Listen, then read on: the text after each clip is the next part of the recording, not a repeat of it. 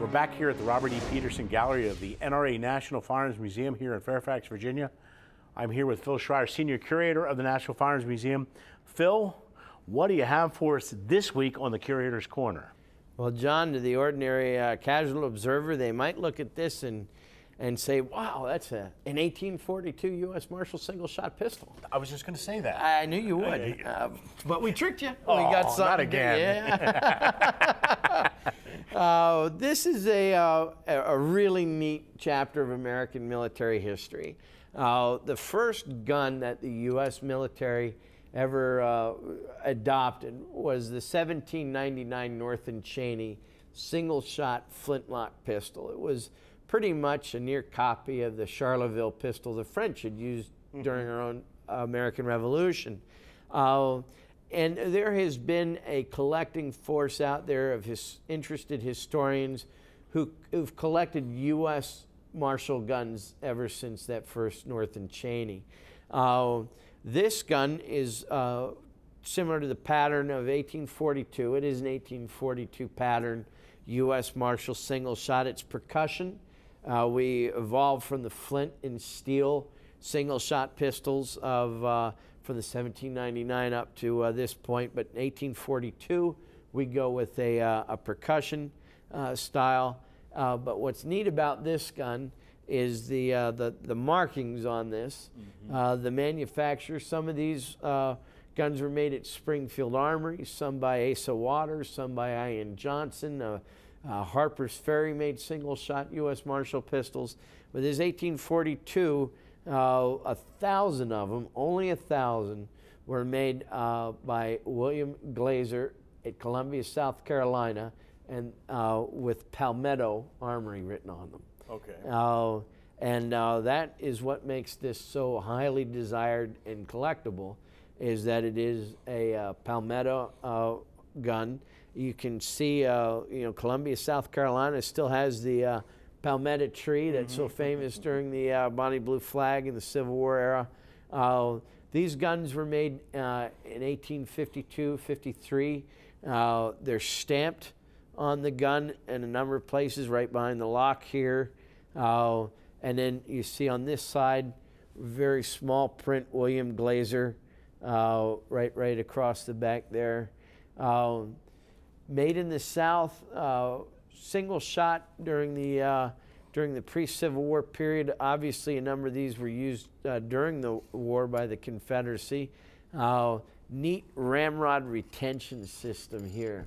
Which uh, means for guys like me, you won't lose it. You won't lose it. ramrod retention system. And that is for the mounted guys because these are really the, the horse pistols. Mm -hmm. You see uh, the Currier and Ives drawings of of the Civil War.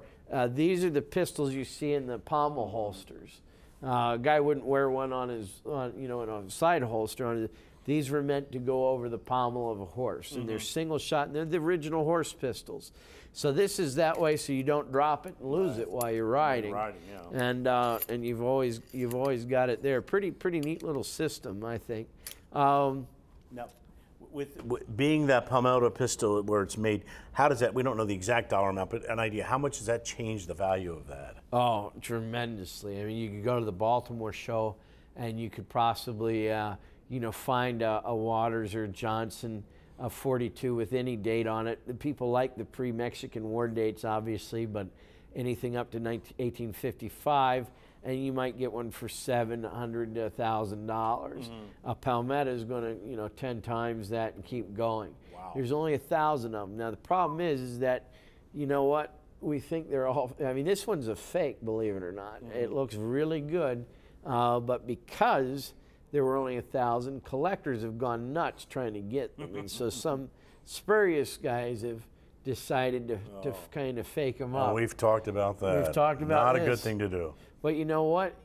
As we find out, maybe they're all fakes to a degree. Uh, because a good friend of ours, a member of the American Society of Arms Collectors, Lou Southard, uh, preeminent historian in the field of single shots, has uh, written a number of, of, articles that say, you know, Glazer uh, was probably uh, buying overruns from the other contractors of this of the same model Really? and just having them stamped and put together. He was So buying. they're original fakes. and he was getting parts from up north. Had connections to these other manufacturers in the north. He knew these guys. And maybe these parts were condemned parts that he bought cheap. Uh, overruns, you know, if they were supposed to have 700 guns for the contract and they, made 800 and hoping, you know, mm-hmm. w- through the inspection process that they'd end up with 700 good ones. Well, the ones that didn't get through inspection, maybe he. So we're thinking that he didn't really have a factory making these guns because, you know, when the Civil War starts, the Confederacy starts looking for guys anywhere that can manufacture stuff. Glazer isn't one of them. You know, so if he was making these before the war and had a real factory making them, why wasn't he making them during the Civil War? Uh, so uh, Lou's done some great research on that. Uh, it's an it's a great pistol, uh, really interesting.